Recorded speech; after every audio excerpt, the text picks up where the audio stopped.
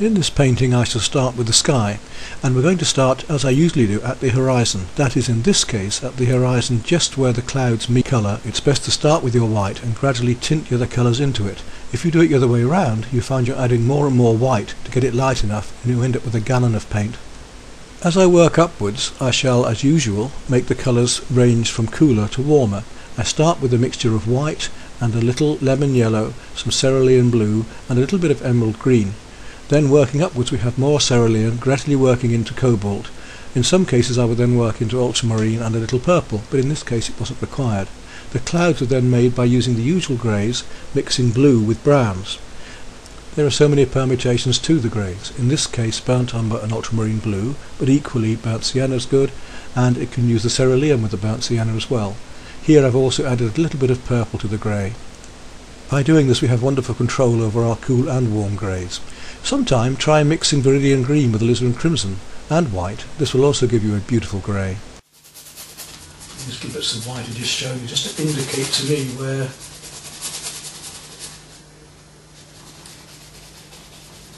colours are going to be going.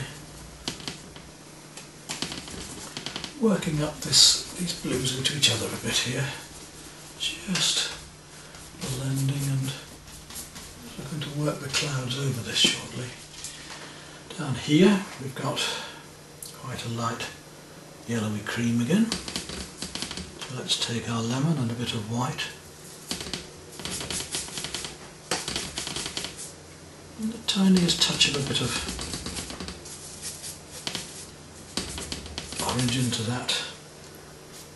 And we'll just bring that colour, that rather nice golden colour again down here. Put it over there already. down below that bird. That's a bit darker against the bird, so... Right, now we can start on the actual clouds. We want to work up the midtones, we want to work up the midtones first of these purple greys, and then we'll um, come in with the lights and work some way with the top as well. Finishing up with the very lightest at the end. Not going to do the water yet, come back on that. Let's look at these greys. So I won't be using a little bit of uh, purple again there, see that going to mix some of this purple in with my blue that I've already done, give me a bit more consistency. A bit of yellow ochre into that, get a more golden colour. Let's just try that out. See the thing is that I'm still dealing with this white canvas and all the while I've got that there it's rather throwing me out but it goes very dark down here.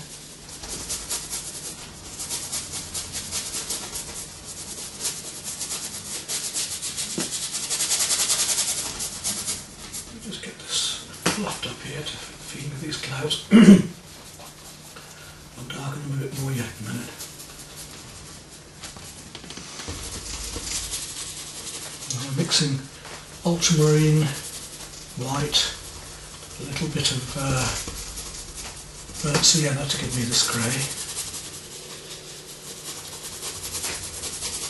wee touch of the purple in it, but not much. I've got to try and gradually build up these dark fluffy clouds. And you see how although this is the same photograph of the sky I was using, uh, it's coming out quite differently. We don't need black, we're using the blue and the browns to make our tertiary colour of grey. I'll start to work up our slightly lighter, warmer greys. So I'm using white, a little touch of cerulean and a wee touch of alizarin crimson now, just to start to feel these warmer greys amongst here, subtly, to gradually get this feeling of reflected warm light coming up into the sky. So with these slightly pinky tinges, we're just starting to hint at that. Now, with the use of a little cadmium yellow and some rose and uh, white, a little touch of the, the grey, we'd already mixed the purple grey, I'm starting to feel some of the pinker colours coming around the clouds. Don't want to make it too strong. It's not a very bright pink yet. It's just subtle colours coming up through here. And right through up into the sky here as well. Just reflecting a little bit on these clouds. Hopefully you see now how the sky can be built up in layers, working from one tone to another and warms and cools between each other as well. Got to go lighter still now with my with my pinks. So I'm taking lemon yellow and rose and white and I'm going to go lighter with those pinks still before I come to my creams. Little bits of light shining here. Gradually build up this. Although it's still against the white down here, this will make much more sense once I've uh, got rid of all that white. I'm going to add a little bit of cadmium red to the pink now to make it warmer and you see I'm painting quite thickly, I'm painting quite impasto now. I'm going to start putting in some cadmium orange into these. Really go for some warmth amongst them now. Are colours that I wasn't using in the last painting, so I'm taking it maybe a stage further here, getting little bits of reflected light here and there as well on the clouds. Make the opposites in the colour circle, these reds and oranges are going to make the greens and turquoises stand out a lot more. Finally, a lot of work to do that. Got to make a much lighter colour for the fluffiness of the clouds.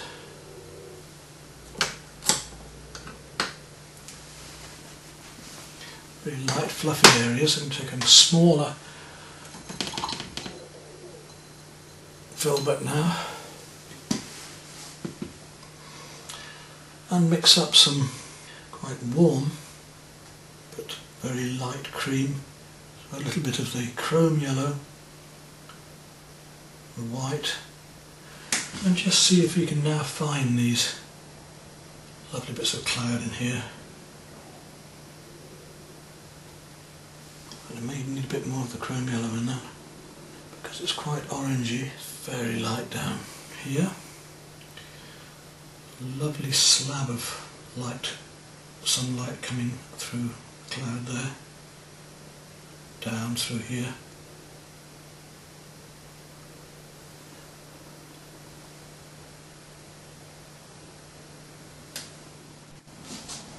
So I say, we won't really see the difference in this until I get rid of the rest of the white. Then hopefully these colours will sing out and do what they're meant to be doing This yellow now needs quietening down a bit down here. Little bits of sky showing through in places that are important. So for the moment, there we have it. We'll just leave that sky at that and move on to the birds. Up here we've got a heron. I want to uh, make it look as if it's in movement. I'm going to go to my smaller brush now and make that darker colour which is the Prussian blue and brown and in this case the brown is the burnt sienna and I've got to paint fairly carefully again because we want this beak of the bird just coming out here. Not too big. Comes into the wing. Dragging back there. Now if I take my blue and cutting around that now to get his shape right. Let me try and get the feeling of this bird winging its way across the sky there. Now we want to focus in on the mallards. We'll do this main one first. Now with the mallard um, we've got lovely greens and warms to deal with and this lovely bright red layer. I think I have to start with the green here and I'm going to start with a very very light green first of all. This green here which uh, I shall start with as a yellow green. It's in other words, it's like emerald mixed with um, chrome. It's going to be a very, very light green indeed. So I shall take this yellow green, add a little bit more lemon yellow to it still, and let's just try that colour out, shall we? Yes, that's not far out. It's a nice light green that I want to just give an undercoating to on the head here to get the, the brightness shining at first. And then we'll gradually, almost like a watercolour, we'll gradually work it up.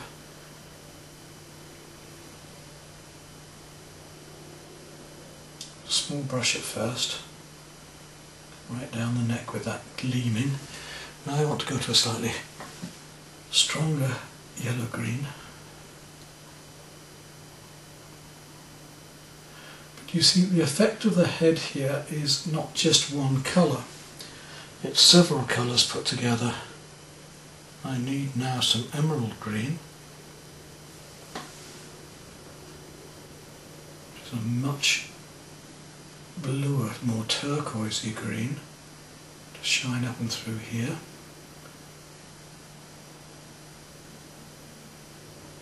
Right down there. That gives us the green we want.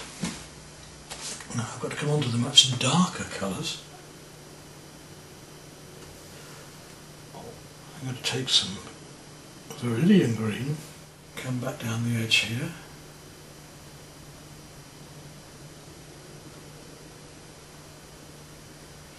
Very acidic, strong green.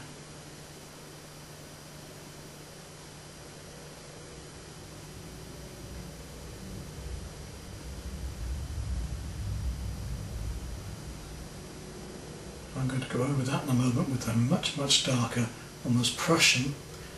This is just to get my underpainting and find the shape and let these colours gleam through because as I was saying just now it isn't just one colour sometimes that will give the effect you have to have one colour next to another colour to get an impressionist if you like glowing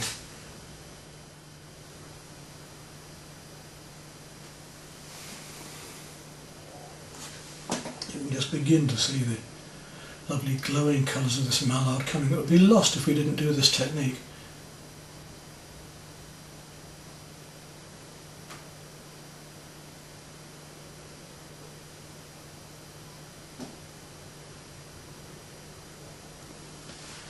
Right, still, now going down to my Prussian and a little touch of the brown and we really start to get these blues darker colours which will make this suddenly shine and glimmer I hope. There his eye comes. So we're now working down with this darker mixture of Prussian and I'm going to put a little bit of cobalt back into there in a moment.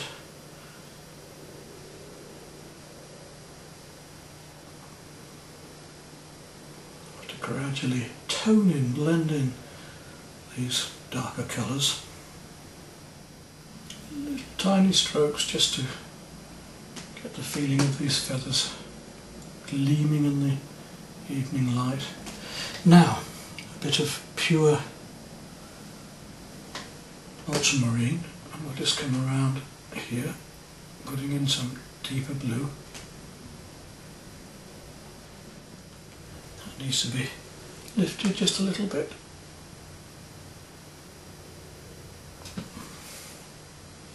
I need to go back in with the cerulean and green there.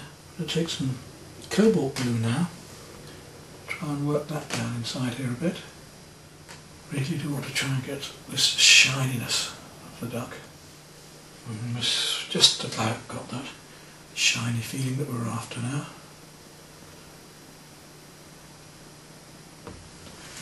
Right, let's look at the beak. So I'm going to start again with something quite light. I'm going to start with cadmium orange and a little bit of white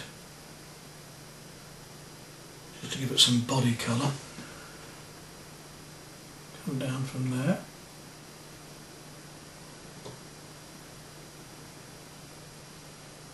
Going to have to cut into this a bit because the beak is not quite looking as I would like.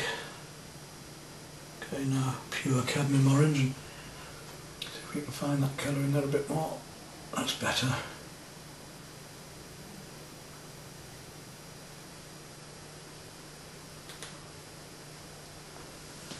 And then slightly more red on top of that.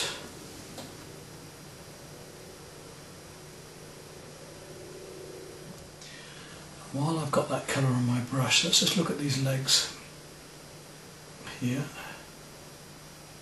I'm putting that lighter orange first. Paint those in completely with that.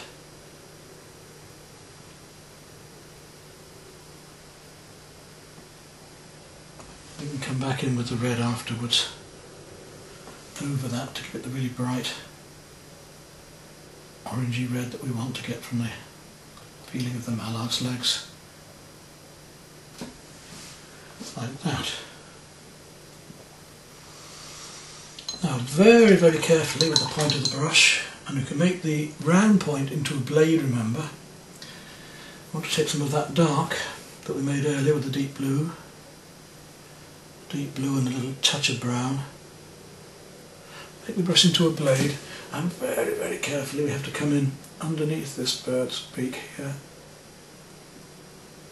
to give the dark bit there. And the nostril just up here.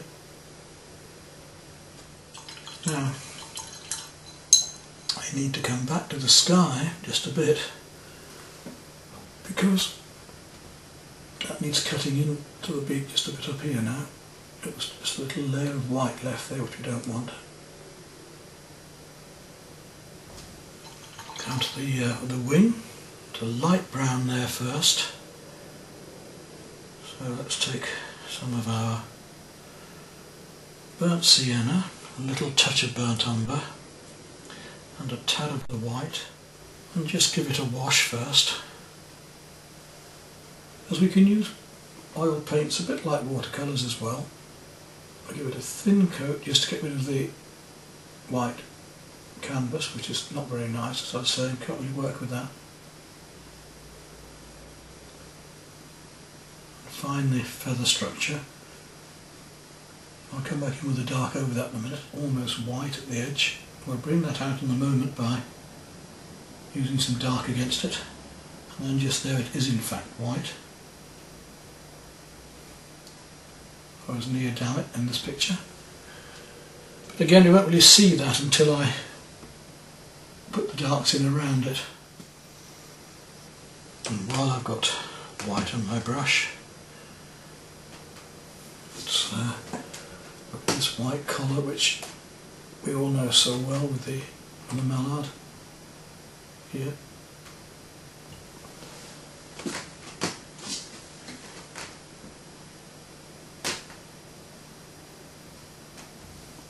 put the other in later. Let's go back to the darks. And we need deeper brown, a feather structure here at the wing edges. So I'm using, I'm using burnt umber with a little touch of Prussian in it. So we've got the feathers splaying out there as the bird hurtles up into the air.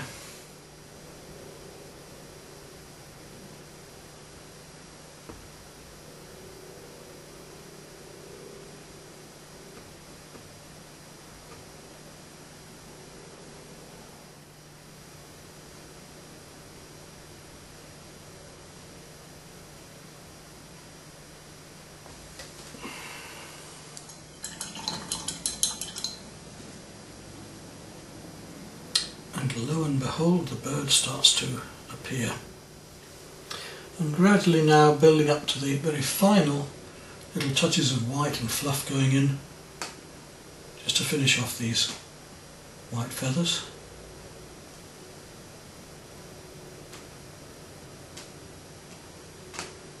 And laying them over the top means that I can just be a little bit sharper and uh, thicker with my with my paint to give that further effect. Hopefully that's what we've got. I hope that you agree. I've got the movement there. So that's that mallard done. Now we'll move to the two that are taking off. Now these two that are flying off. Photograph is rather distant. I've tried to work from all my own photographs and uh, these two were taking off quite a way away but they're rather nice compositions so let's see what we can do with them. First of all I want to use quite a light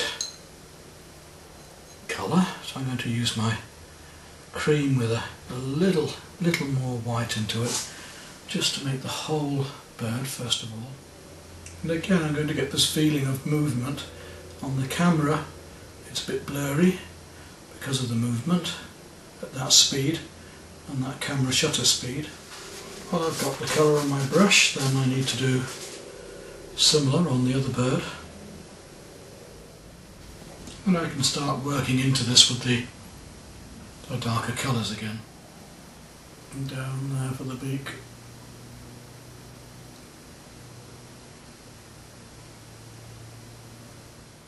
We're using blue rather than green at the moment. Find these bits of blue and darker colour coming down the wing. Go to a slightly deeper blue with a mixture of the ultramarine and a little bit of Prussian just coming down into the tail there.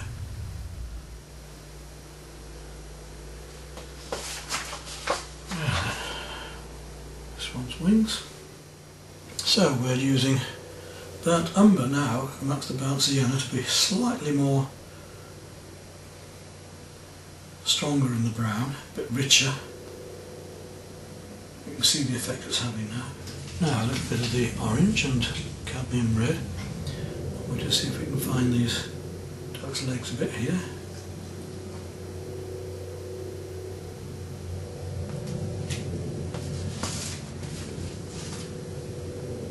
A bit more orange perhaps in the bird itself.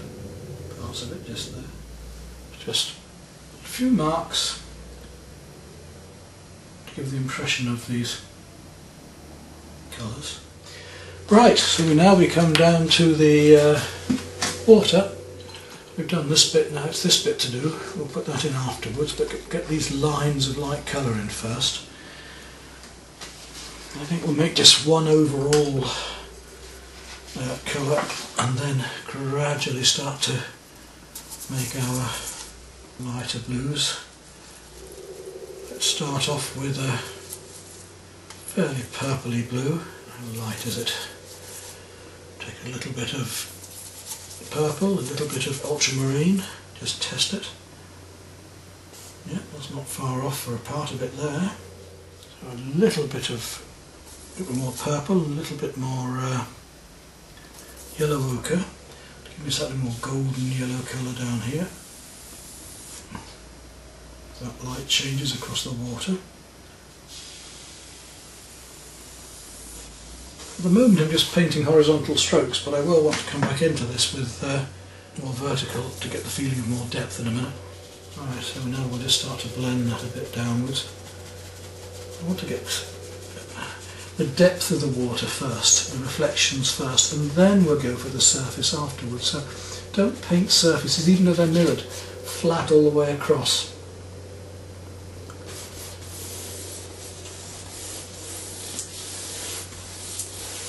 Just get some, some of these areas of more purple first. So just plug it into the canvas. Let's get rid of that white canvas for the moment. Um, you can't see wood for trees. Right. Now some cobalt blue and some white. Let's get the canvas down here.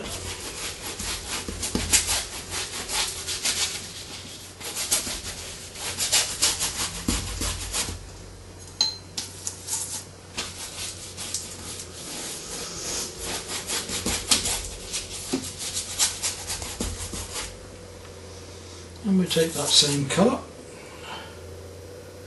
We go back up into there.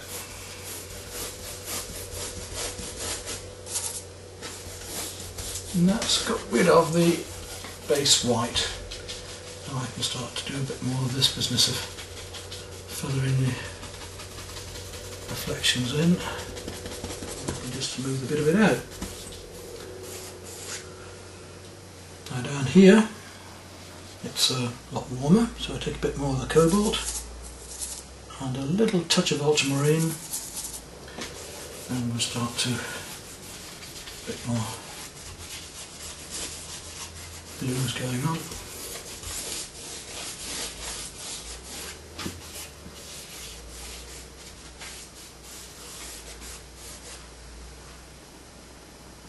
I'm going to actually add a little bit of Prussian to it with that cobalt and a wee touch of the purple just to warm it back a bit.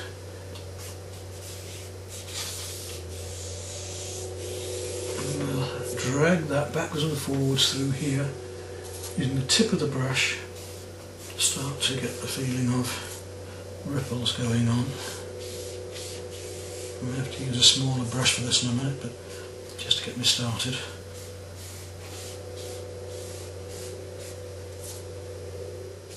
bluer shade back here amongst this as well. In here. Also that comes out this side. Now we can use our fingers as well with this remember, to smooth things in, to blend, to get the softer effects. I'm not stuck with just a brush, and there are various brushes for doing various jobs too. If I use my fingers, look at the soft effect I can get and I want to blend these horizontal marks in as very soft ripples, ever so gentle ripples, right through. There we go. Now, I should look at this background, so I'll take a, a smaller brush again, down to my small filbert. Brushes don't last that long doing this sort of job. And it wants to be a slight purple tint first of all, a distant mauvey purple, quite dark. So I'll take some uh, Prussian blue and a little bit of mauve and just feel this far edge. Yeah it is, it's as dark as that and we'll form these distant trees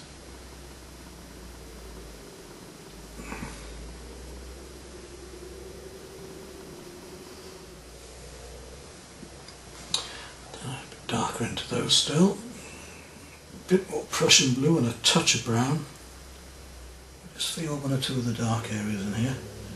It's still very distant so we still want to keep it cool. Now we need the warmer band to get rid of that bit of white of marsh just coming in before that. So I'll take some yellow ochre, a little bit of burnt sienna, a touch of burnt umber. Now whilst we've got that on the brush, there are areas of that colour that are coming into those trees as well. So we shall just tickle in the trees, little areas of the same colour to get this marsh coming into these sand dunes and trees in the background. I would say at the moment I've been going almost entirely along with horizontal marks but we shall need to start to look from now on at doing a lot more vertical ones as well. I'm afraid it just does take time. There's no real fast way about doing this because you can't just get a sponge and sponge bits on. We have to look at all these little marks and try and make sure that none of the marks I do are ever the same, that they're always slightly different.